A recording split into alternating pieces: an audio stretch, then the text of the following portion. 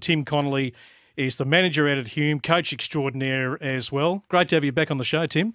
Good to be here, BP. It's um, been a massive summer of tennis, and also I don't know if I'm going to steal your thunder, but it's good to have one of our stars, Australian stars, alongside with us as well to sort of talk about us. So don't, don't steal the thunder, Tim. I won't. I won't steal. I've got a, a, page of stats here that I was going to uh, reel off because I've admired this man from afar, but I think we've actually sort of met before or had a a, a conversation. This is probably uh, well overdue. Uh, Paralympics doubles gold, of course, at Rio, silver in Tokyo, four time Australian Open quad doubles champion. He's been number one back in 2019 in doubles, semi finals of the Australian Open, the French, Wimbledon uh, last year. Uh, of course, awarded the medal of the Order of Australia back in 2017. In 2022, awarded uh, Tennis Australia's most outstanding athlete with a disability. He's a great character and he had a nice January as well. Heath Davidson, it's great to have you on the show. G'day, lads. How are you? It's good to be here. Thanks for having me when you uh, sort of reflect back, uh, Heath, we're going to sort of cover a, few topics, but you know, wheelchair tennis comes into the, the forefront of people's eyes who are the casual sort of tennis observer who are going to a couple of days at the Australian Open or for the diehards are going out to Hume and watching some great action. It, it's a great month uh, for you to really exhibit your sport. Yeah, definitely. I mean, Australian Open's always a huge deal for us, but um, it's uh, really cool and awesome to be down in Craigieburn at Hume to play our two lead-in tournaments, which is which is really cool because you get the uh, best in the world down at one of our local clubs where our juniors and all of just just the community get around and come and watch. So it's really cool to have a lead in like that into one of the biggest tournaments of the year for us. So and you, you got awesome. a nice early trophy. I did. It's actually, believe it or not, I've been playing tennis now professionally for eight years, and um, yep that's uh, my first singles title on home soil. So Tim made a big deal about it and gave me this big blow up number one and stuff. So it was pretty cool. But it's it was a little bit easier this year without me um good buddy Dylan playing it. So what, what's that been like actually? Because um, I mean, you know, if we're just putting it out there, I know you're good buddies, but you know, you probably stole a bit of the limelight over the years uh, from your Heath, and uh, you know, certainly you um, just when you think of you know your career and some of those numbers I uh, read out, did you often did you did you ever feel in the shadow of uh, Dylan? And now that he's he's not playing, uh, that maybe more of the accolades have appropriately come for you. And that's no disrespect to Dylan at all. I'm not saying this in the nah, Dill, Dill's Dill, Dill's a legend. Um, love him to bits. But I was I was comfortable being in the shadows, mate. It means I could just focus on tennis and doing what I had to do out there on yep. court, and he did all the media and talking because he does a lot better job of that than I do. So, um, no, I was happy to play second fiddle there for a little bit, but now that he's gone, it's um, it's a little bit quieter, and I've had to uh, take take on a bit more of a lead role and at home in Australia and um, mm. help out with the juniors and um, yeah, just happy to be happy to be where I am at the moment. I had a really stellar year last year. I'm world number three at the moment, so just keep chipping away and hopefully can continue to play good player, play good tennis and inspire the young young fellas and young lasses to um pick up a tennis racket and get out on court. Yeah, look, BP, I guess one of the you know Heath probably had been in the shadows of Dylan, but I can tell you he's right out of them now, and just seeing how he acts at the Hume for those two weeks when we've got the juniors there, and um, you know we've we've got we've got some kids coming through, some juniors coming through. Gene Woodman, who's just been classified as a quad. Yes. And um, he played his first great story, first quad open singles, and um, we got this great photo of you know, and, and Heath and I'm sure we're going to end up playing doubles together at the Olympics or Paralympics one day. Um, if but, I'm still around. Hey? If I'm still around. He's a bit young, but we'll get there. See oh, how we 35 go. 35 young. I'm getting old and sore, mate. yeah, but, you know, look, the role model and, and just the integration with the juniors and the and the elite players and the professionals and, and how they they just embrace all everyone coming through and you know that whole inspiration aspiration part for the two weeks is is just incredible to see and um, and I know the juniors you know they obviously get a great buzz but so do the so do the players. I imagine, and I know we spoke about it, Tim. You know, right throughout uh, January, and we had you know plenty of footage uh, from you and your team. Kayla did a great job. Uh, take us inside those uh, first couple of weeks. I mean, is that a part, Heath, you enjoy? Is that you're now well established in your career? Is that you can actually sit down with the youth and and and tell them that hey, there is a there's a real genuine pathway here. Yeah, definitely. I mean, when I was a junior, um, we didn't really have a lot of senior players and stuff reach out and hang out with us and be role models for us. I mean, we had great tennis players and they were always around, but we just didn't really have the interaction that we do nowadays with the young guys. So, and that's a big passion of mine is um, helping juniors along the way and anything that I can do to help them or give them advice or um, tell them how my journey was and what to do and what not to do um, is just something that I really enjoy doing. And um, I love being out at Craigieburn because for those two weeks I do get to do something that I two things that I love. I get to play tennis mm. against the best in the world, and I get to hang out with the young young men and women that we've got coming up. We've got 14, 14 of the top 50 juniors at the moment, so we um, we're definitely doing the right things at home, and um, hopefully we can just continue to get more more people people into the sport. And Tim, we saw, you know, Tennis Australia actually invest in some of those juniors post the Australian Open, which you can take us inside because we're, we're uh, you know, we know logistically, just in tennis in general, we're a long, long way from the epicenter. There are some challenges, whatever level of tennis, but uh, when you when you invest in your youth, I mean, yeah. things can certainly happen, and TA were prepared to do that. Yeah. So, three of our juniors, uh, they played the the first couple, well, the two events at Hume, and then um, they took off to Tarbes. So I probably encourage any of the listeners to look up where Tarbes in right. France is. Okay. And it's um, in the French Alps. And so pretty ordinary it, spot. Pretty it, sounds like it'd be a great spot to go skiing. I don't know how to play indoor, you know, tennis at that point in time, but it's such a long way. But we took three of our juniors there. Uh, ben Wenzel, um, Yasin Hill, and and Jin Woodman all went across there, and so they were three of the eight players. Um, and just the experience for them to learn to travel because that's one of the biggest parts for mm. and I'm sure Heath will talk about this that yep. the travel part and being able to embrace the travel um, is such a important part of our sport.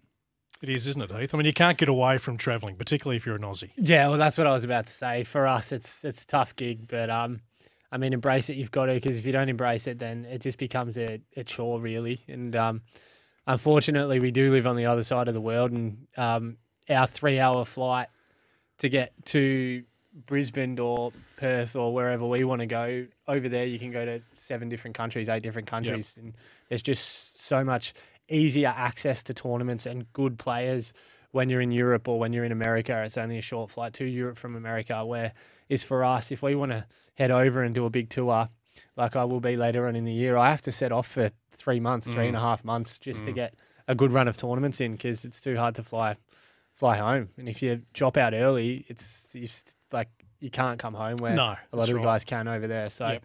yeah, I've definitely, um, you definitely got to want it.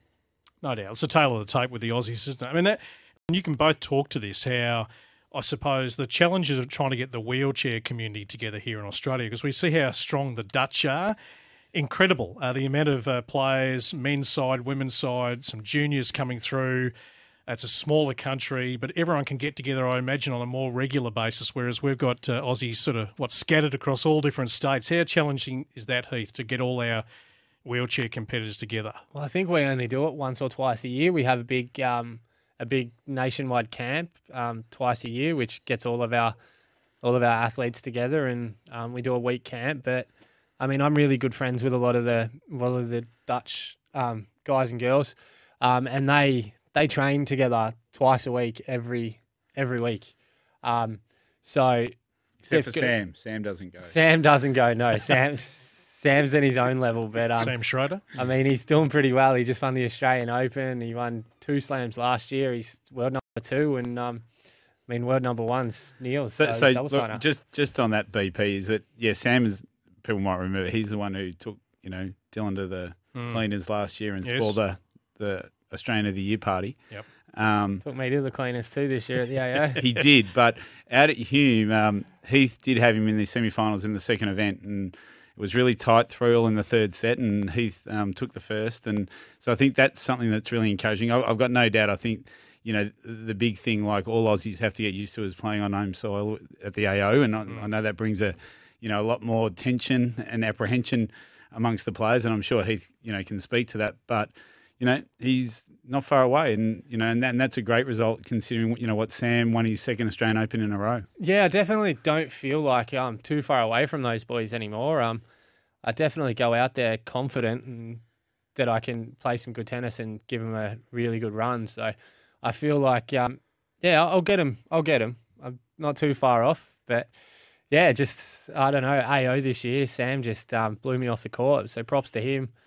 Uh, just um, yeah, it was it's pretty quick. So at this stage, your uh, career, Heath. I mean, what what are you trying to add? I mean, players have a game, they have a style, but whatever level, they're always trying to evolve or find a, a new shot or just find something they can add.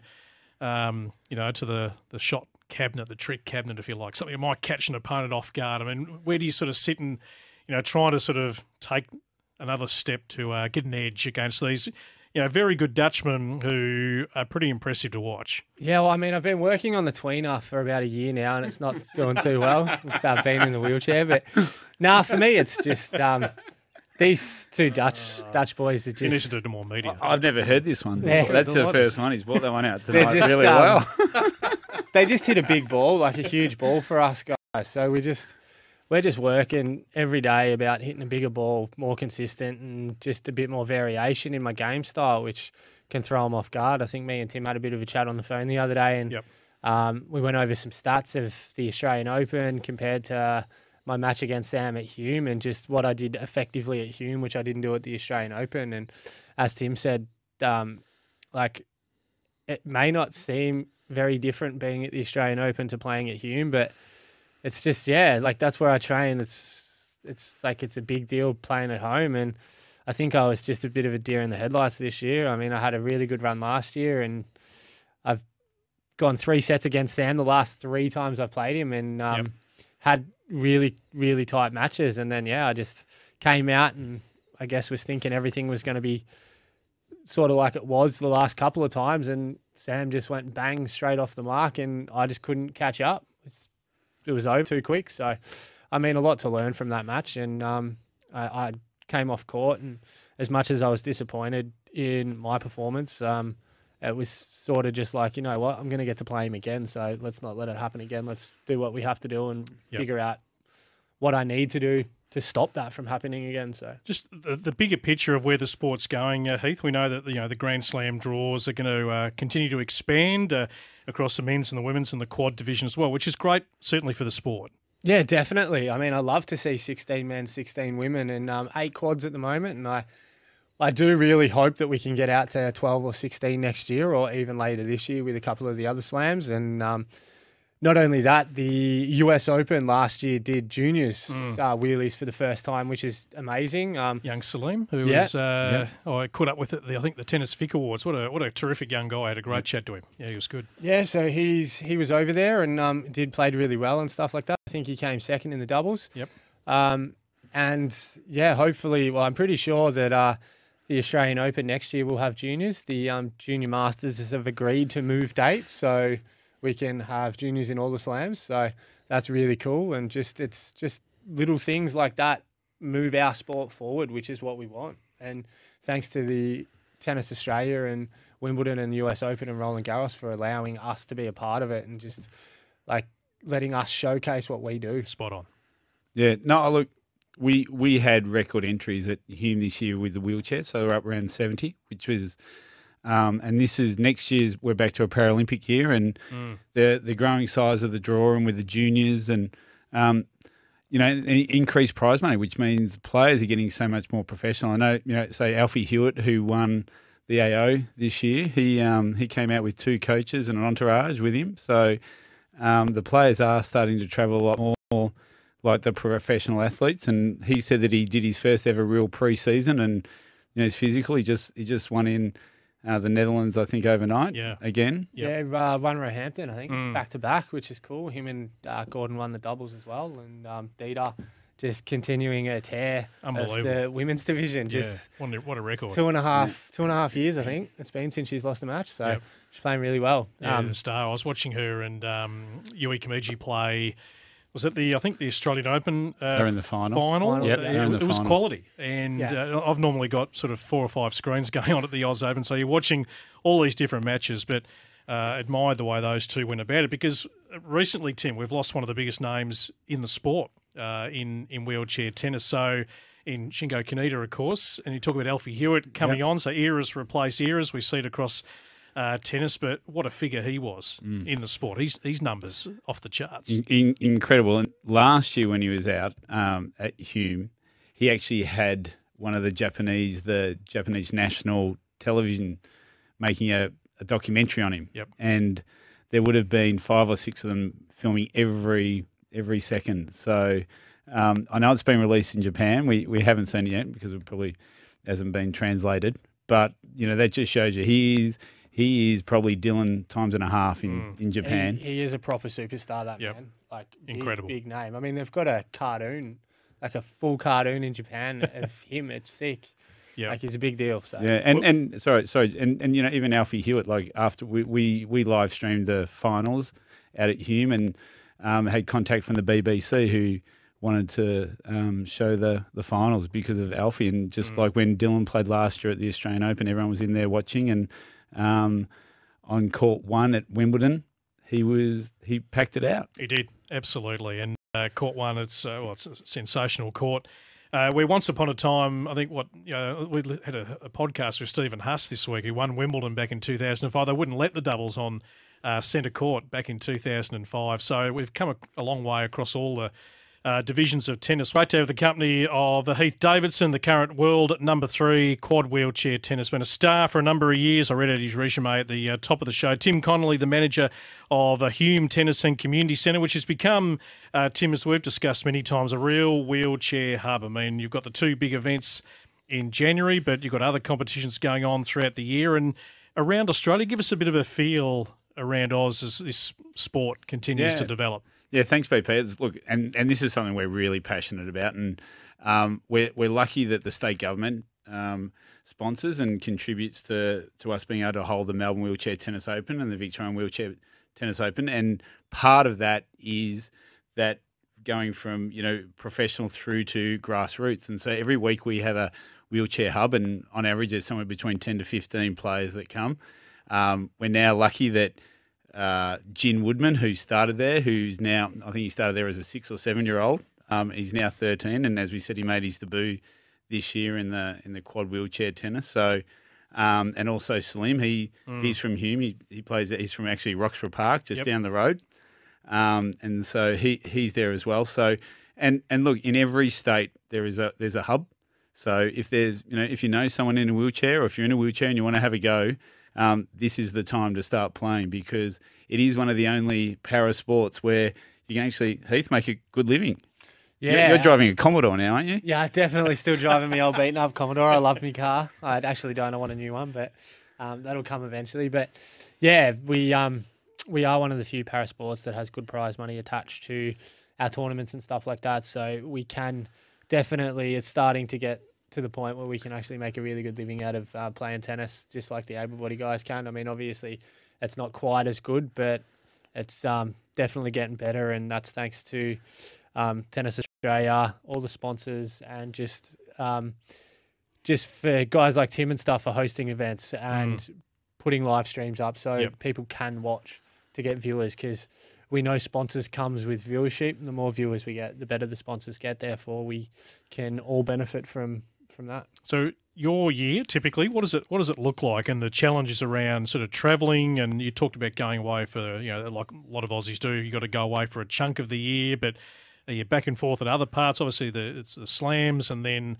take us through the other major competitions you're sort of competing in. So, uh, this, what is it? I'm as of now. I think I leave in a week and a half or two weeks to head over to America. Yep. And once I leave Australia, I'm only back in Australia for for for a month until the end of July. Okay. So, yeah, it's a little bit of time time away from home, um, which which I don't overly like. I like being home, but um, it's I love doing what I do. So it's um it's an honor and a privilege, and I definitely don't take it for granted. Um, I get to travel the world, hit tennis balls, and like just yeah, really experience life. And as I said, I get to do what I love for a living. So it's um it's sort of it's it's pretty cool. And um yeah, it's it's it's really tough for our junior guys, especially like especially in the wheelies, because overseas you've got a lot of junior a lot of juniors that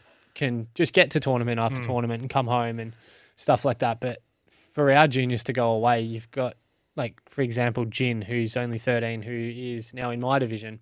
For Jin to go away, he's got to take his family because he's Yep. only thirteen, and you can't expect a thirteen-year-old to take a month and a half, two No. months off school to go away and play tournaments just to try and compete against the best in the world. Um, I mean, we are lucky that we've got good hub. We've got a good hub down at Craigieburn, and there's 15, 16 people there every week playing tennis. So there is definitely different quality of players there, and you get different variations of balls and stuff like that. And um, Jin and all the younger guys that are um, on a really good path and on the right path are um, down at Melbourne Park with me on a Wednesday night and a Monday, and um, they get out on court with me and we hit. And Jin's Jin's been hassling me to uh, team up with him at the nationals for doubles. So You in?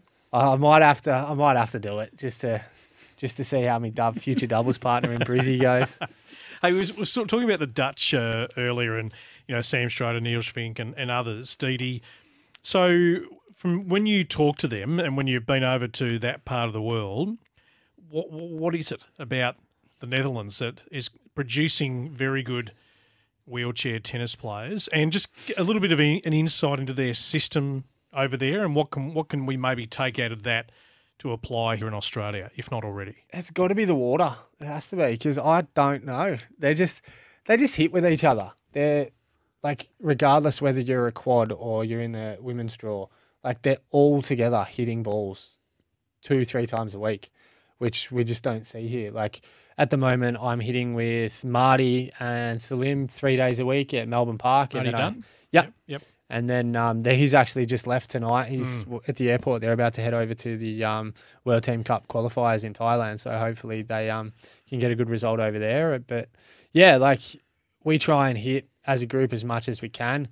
Um, but it's just we're so far away from each other. Like obviously we're lucky that in Melbourne we're sort of all about an hour away from Melbourne Park, but it's just so hard for us to hit with Ben Weekes, who's in Sydney, and you've Yep. got um, Ben Wenzel, who's in Cairns, and then you've got guys in Brisbane, you've got guys in Perth and Adelaide. It's just we're so far apart. Just to have a regular, a regular session is just tough. So anyway, uh, Tim, around around that in, in terms of domestically here, trying to pull that together. I mean, there's, there's clearly those logistical challenges of where everyone uh, resides. Uh, What's the discussion sort of behind the scenes? Uh, Look, I, I know asking the, the Dutch coaches, and you know, because it's it's an incredible, you know, the top two men, three of the top four women, um, and and they like, geographically they can get to where they're going to go within two hours, and that's why they get together so often now. You know, like we just said Ben's up in Cairns, and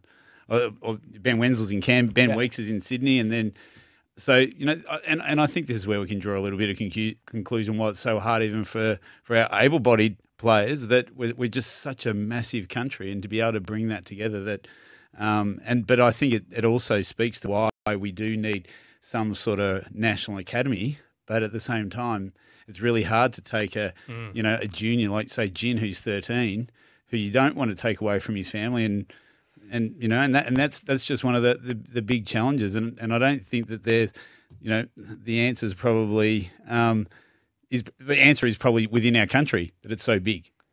Yep. Yeah, it's tough. I don't know. I mean, unless unless Stocklands for one of the major sponsors uh, down at Hume want to uh, uh, rent a couple of houses out for us boys, and we Thanks can for have mo- having me to mention Stockland. Yeah. You did that, Heath. I appreciate a, that. have um, have have us all come out and um, free right. accommodation for a couple of weeks, Mm. and we can play tennis down there together. I One mean, house you could good. just take over Craigieburn. now, Well- Tim, yeah, oh, that's it. buy every house in Craigieburn. Yeah, well- everyone there. Well, look, and, and just quickly, that and that's one of the, you know, when they when all the when all the players do get together, Yeah. and we were lucky enough to have a national camp out at um, Craigieburn in the a, a couple of weeks before Christmas, and and all getting together and. You know, and the camaraderie between all the players, it, it's it's incredible, and and then you just see that. Then it, and I'm sure Heath will agree with me. Then it happens globally. Like everyone gets together, and it's like catching up with a, you know, a cousin or a sister or a brother that you haven't you know seen, and and the atmosphere. And we we spoke about this the other day. The atmosphere that a week before the Australian Open, it Yep. feels like a real community event, but they're elite players. Um, and then a week later, they're at, at the AO and they're competing, you know, in front of massive crowds. Mm. Yeah, it's crazy. It's so good that we're all together down there and everyone just enjoys it, but takes it serious because we are professional athletes and that's what we do. Well said. Hey, one name uh, before we uh, round out. We talked about Alfie Hewett before, but this uh, this young boy. We talk about the Dutch and how strong they are, but this young boy, uh, Tokito Oda, he's only sixteen. Heath. He is, now he I was is. watching him out the corner of my eye on a monitor at the Australian Open, and boy oh boy, can he play! Yeah, he, um, Wow.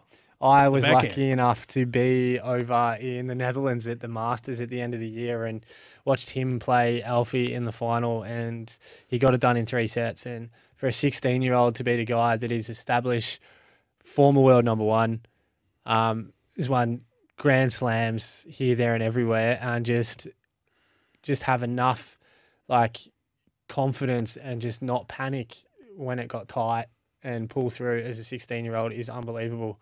Um, and yeah, Shingo was good and is probably going to be the goat of our sport forever. But Tokito may may chase him down one day. Big rap, sixteen years of age. He, he, he's amazing, BP. Yeah. Uh, and there are a couple of shots, but you know, and I think Alfie's getting him at the moment just through physicality. Um, but yeah, Oda's still only sixteen, and um, I remember seeing do. Alfie when he was eighteen. Or you know, now Alfie's a, you know, like we said, he's doing pre seasons, and he's a real physical. He's a fit athlete now, and He's an um, adult. Yeah, he's an adult. Yep. Exactly right. Yeah, it's incredible. hey guys, thanks for uh, chewing a bit of the fat. Uh, I mean, the wheelchair tennis, I, I- I've really enjoyed it. Uh, the last few years at the Australian Open, was lucky enough to go to Wimbledon a few years ago and I watched. I think Gordon Reid was out on uh, court 13. It was 10, 15 deep, uh, just trying to get a vantage point and. Uh, the Grand Slam's really getting behind it. Let's hope the draws, as you said, uh, Heath, continue to expand. We find more talent and we can continue to develop some great talent here in Australia, Tim. So many aspiring young juniors, and hopefully the door can keep opening. Yeah, and look, BP, you know, and thanks so much to the first serve and you for the coverage. You were on the text all the time, semi semi match point, semi match point. So, but you know, it's just that everyone's starting to jump on board, and um, I know he's got a big TikTok account now that he wants people to follow as Right. well. Like he's all over it. Like, his social media is growing.